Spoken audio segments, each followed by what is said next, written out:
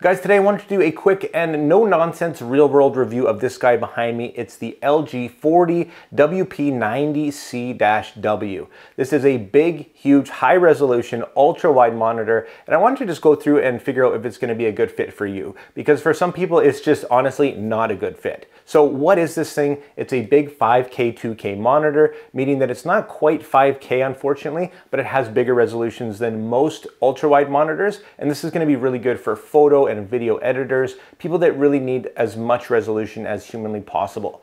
Who's it not for? Well, it's probably going to be excluded from most gaming choices because it's capped at 72 hertz. And now you can get up to 144, 200 and above hertz, which is going to be a lot better for gaming, frankly. So a content creator, somebody who does a ton of work, photo, video editing, After Effects, Premiere Pro, this thing is going to be a beast for that and it's gonna have a lot of room on there for you to juggle a bunch of programs at once. If you're somebody who just uses one program, if you had Lightroom up there, for example, and your photo editing, unfortunately, it's not gonna be that great because there's just too much space. And you're gonna find yourself going all the way over here, looking there and going back to, to make some edits, and it's not overly efficient.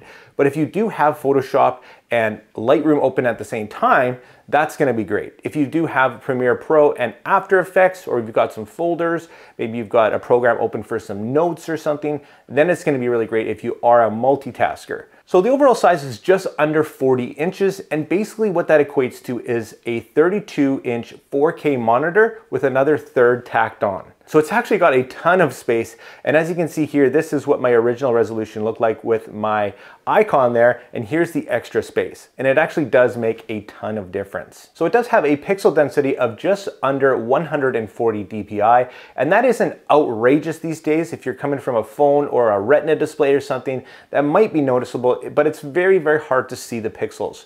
For me, again, as a photo editor and whatnot, it's not a big deal. My old 4K monitor was about the same at 140 DPI, and honestly, this is a lot sharper. Looking back at old photos that I've edited, I can definitely see the sharpness, and in some cases, I'm having to go back and actually make adjustments because what I'm seeing now is probably what people are gonna see in the future as screens get better. Now in terms of brightness, it is a little bit low on the overall scale of things at 300 nits, but honestly, it's more than enough for most people. If you are in an incredibly bright lit room, that might be a problem, but honestly, this thing even has a sensor to adjust based on your ambient light, and I find myself being completely happy with the brightness.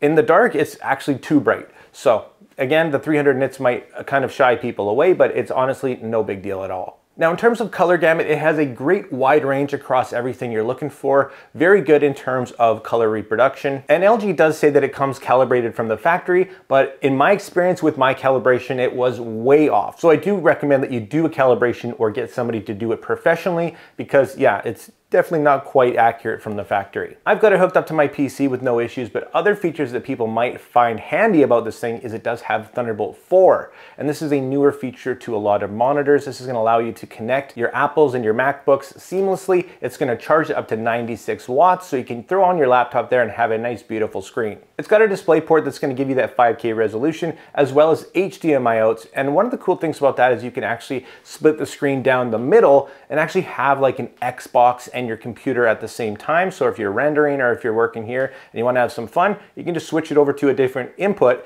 and have two completely different things. It's also got USBs, of course, headphone jack and built-in speakers, but speakers and monitors, let's be honest, are really not that great. They're not terrible, but definitely if you have a set of speakers that are external, you're gonna have a much better experience. This thing does weigh 27 pounds. It's quite hefty and big. Obviously, you're gonna need quite a big desk space. And overall, the looks for me are pretty nice. It looks like a really well put together monitor. I wish it was a little bit thinner, but I understand that technology isn't quite there yet. And it all has to do with the type of panel, of course. So overall, I'm pretty happy with the way it looks. It's big, it's heavy, and honestly, that's kind of expected out of a 40 inch monitor. So what do I love this thing for? Like I said, I do a ton of photo and video editing daily and with a couple different programs open, it does save me a little bit of time switching between those programs. And it's really nice to have things open and not having to go searching where you just have like just a ton more room. So Does this thing actually make you more efficient? Is this gonna make you love your job and wanna get to work every day like some people claim? Not really. Let's be honest, it's just a bigger screen. It's not gonna improve your life drastically. If you're gonna utilize that more screen, that, that's fantastic. It might save you a couple seconds here or there, depending on where you're going, if you're searching through things and dragging them over and whatnot. But honestly, it's, it's nothing too crazy. Let's not get super excited about it. Now this is a very expensive monitor. I did find mine on a really great sale. And by the way, I bought this myself. This is not a sponsored video guys at all. This is my complete personal opinion. So if you do enjoy that, make sure you hit that like and subscribe button. So getting back to the productivity side of things, yes, it's great for multitasking. It's sharp, it's got great color reproduction, and it's high resolution.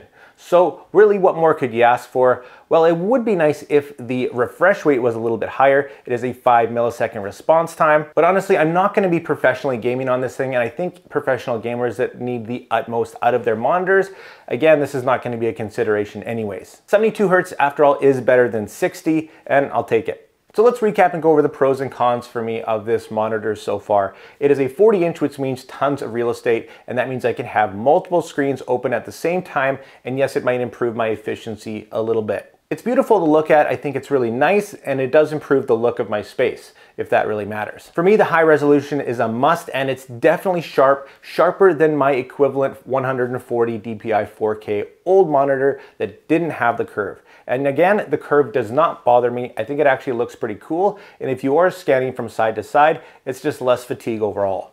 The Thunderbolt 4 and connectivity is going to be great for some people, not really a huge deal for me as I'm just pretty much using it as a PC editing rig. Really the only main downside I could say about this monitor is the price. Definitely look for it on sale as it does go on sale, which I did pick it up for a pretty good sale, and I've been pretty happy with it so far, I must say. So wrapping up, I'd recommend this to somebody who's not a gamer, but definitely somebody who's a content creator like me, or maybe somebody who does a ton of photo and video editing, or has a bunch of programs open at the same time and doesn't like fiddling through tabs and whatnot. I think that's fantastic. Like I said, it's sharp, the colors are beautiful, and for me, it's definitely bright enough. I hope you liked this video, guys, and if you did, make sure you hit that like and subscribe button. If you wanted to check this monitor out or purchase it, I will drop affiliate links down below. Thanks so much for watching, guys, and we'll see you in the next one.